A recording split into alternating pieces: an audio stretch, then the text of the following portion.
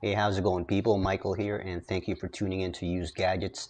And in this episode, I'm going to try to help you determine whether or not buying an older Mac Pro is worth it in 2015.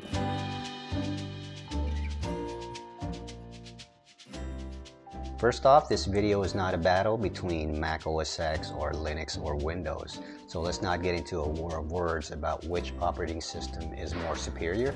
I have all three operating systems running somewhere around here and each one has a special place in my heart. Secondly, this video is meant for people considering purchasing their first Mac Pro or maybe they already received one as a present and it's an older Mac Pro and they are undecided whether or not to keep it or upgrade to a newer model. So let me introduce you to my 2006 Mac Pro, which I purchased back in 2012.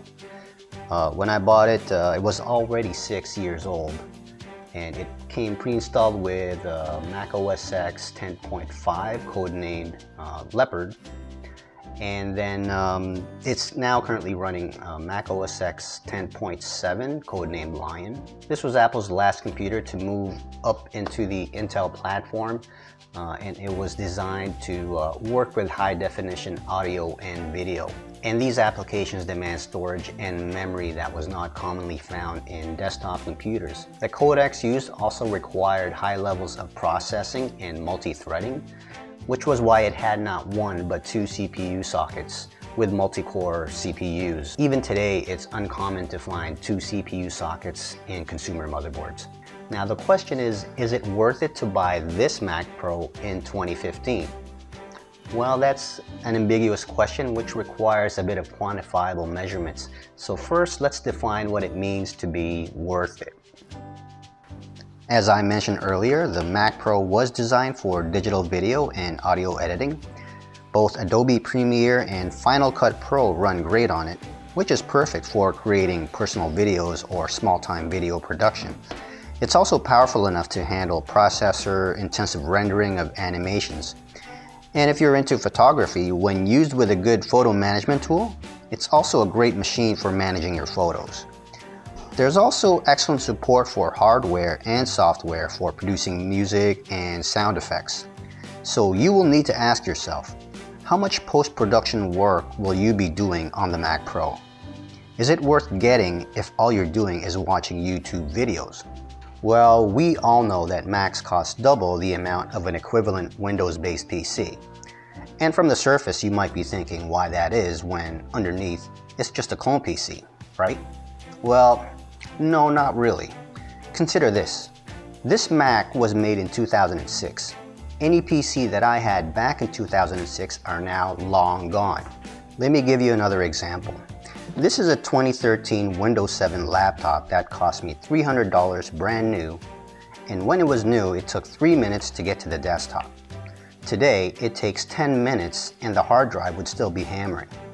It takes 1 minute for Firefox to open and I have multiple pop-up windows because of malware infection. I'd not even dare render a video on this laptop.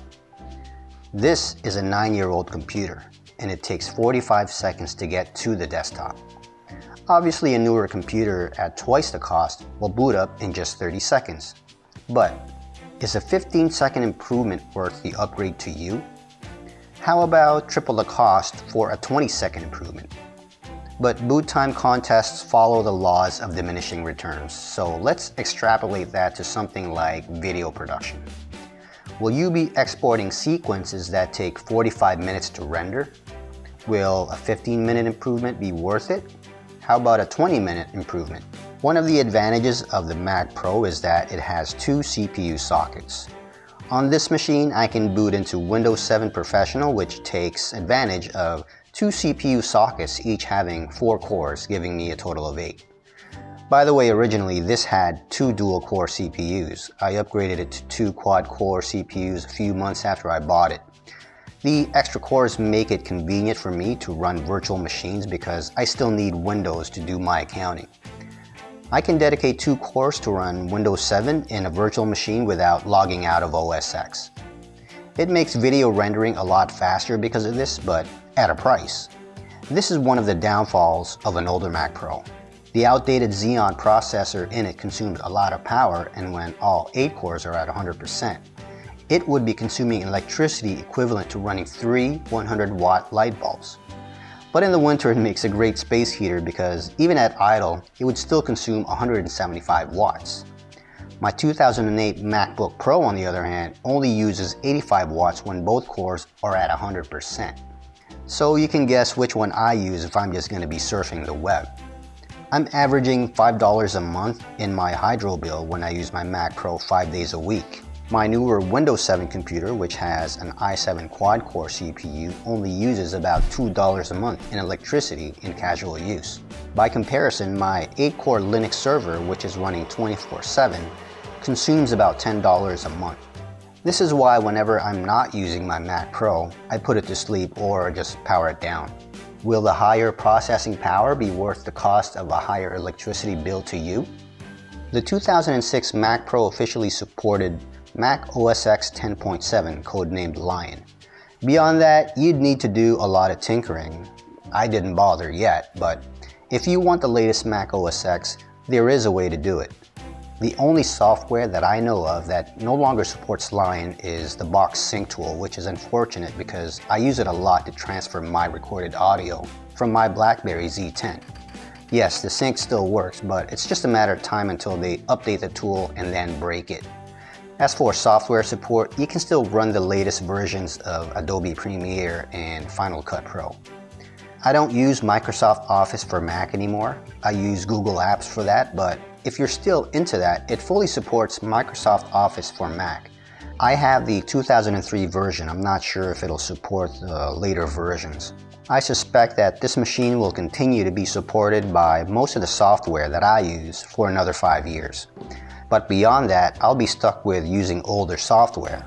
While it doesn't mean I'll be less productive, it also means I can no longer be more productive.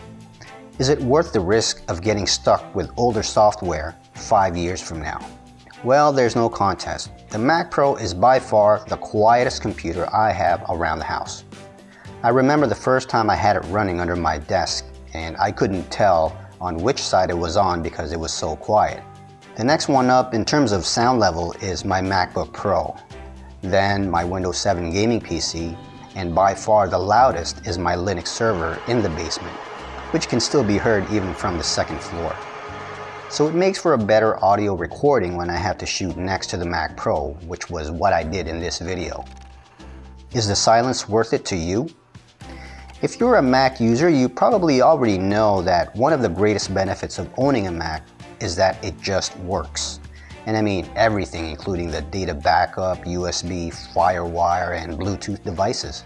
This is the Mac Pro's greatest strength in that I have not found myself tinkering with hardware or software because of a crash, a virus, or malware. Not only because Mac OS X is so stable, but because the hardware components were made to last. Even the case is so thick and heavy that it feels like a tank. Seriously, when I did a system restore on this thing, when I upgraded my hard drives, it even restored the windows I had opened. But if you still feel the need to upgrade any of the components, an older Mac Pro can still accommodate many upgrades.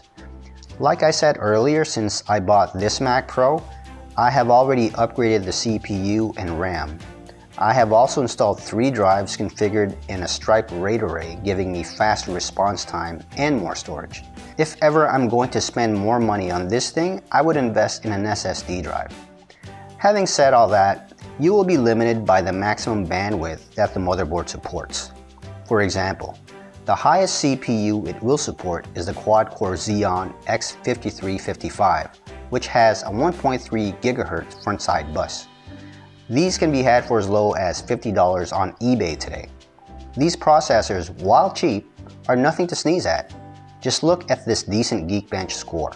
Also, the RAM frequency will be limited to 667 MHz DDR2. And while you can install the latest SSD drive, the interface will only support a maximum link speed of 3 gigabits per second. Will the limited upgradability be worth it? And finally, we come down to the purchase price. These prices for a 2006 Mac Pro are accurate as of July 2015. Now, these are prices for the newest Mac Pros and these are the prices for the newest Windows PCs. You will need to accept that Macs cost considerably more than a Windows PC of equivalent specs, and that is because it uses server-grade components. But the 2006 Mac Pro now costs less than a 2012 Windows desktop PC.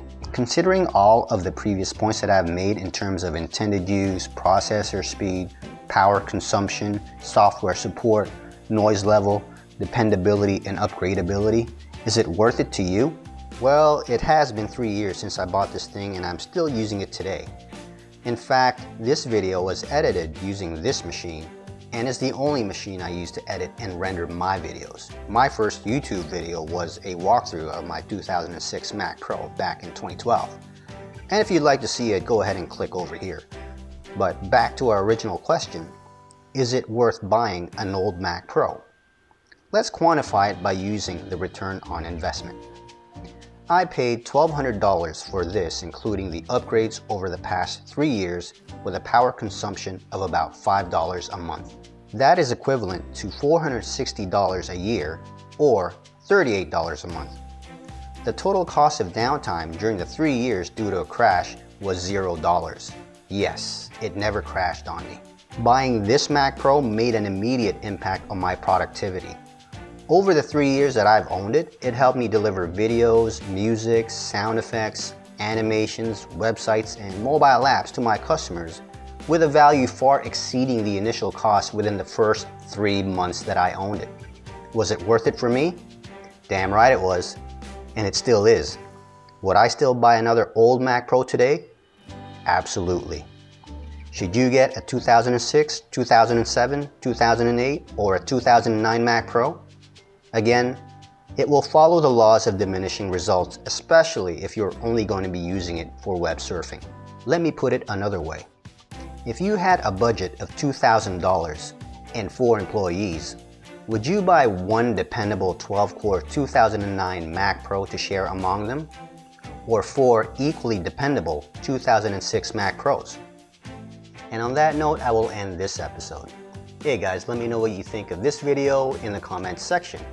And if you like this video, please hit share or hit that like button. Or better yet, hit that subscribe button and I'll see you in my next video. Thanks for watching.